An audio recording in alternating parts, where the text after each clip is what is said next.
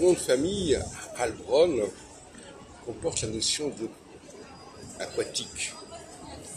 Brune, Brune, Braun, c'est la source, c'est la fontaine.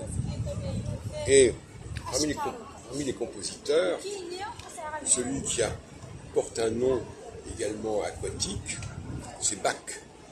Parce que Bach, en réalité, c'est Bach allemand, et le Bach allemand, c'est le ruisseau.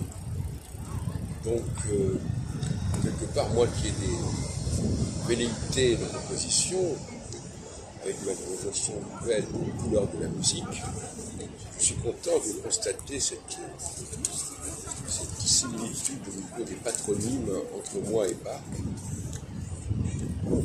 Effectivement, cette, fluidité me paraît assez valable, car euh, finalement, il faut que tout soit fluide, tout soit spontané, coule de source. Et euh, il est dommage que en français, des noms comme Bach ne fassent pas immédiatement penser au ruisseau, euh, même s'il y a la truite du Schubert.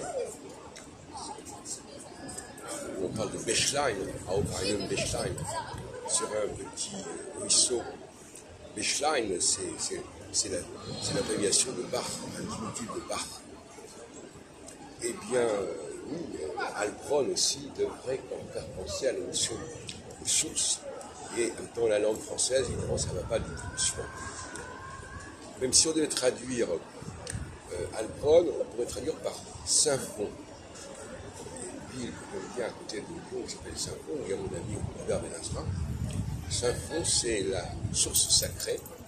Et Alpron, ça veut dire la source sacrée. Ou si on préfère la source qui guérit, parce que les deux sont liés, la santé, le sacré, la sainteté. Heilige Nacht, la fameuse Sainte Nuit, c'est la même chose que Heilbronn.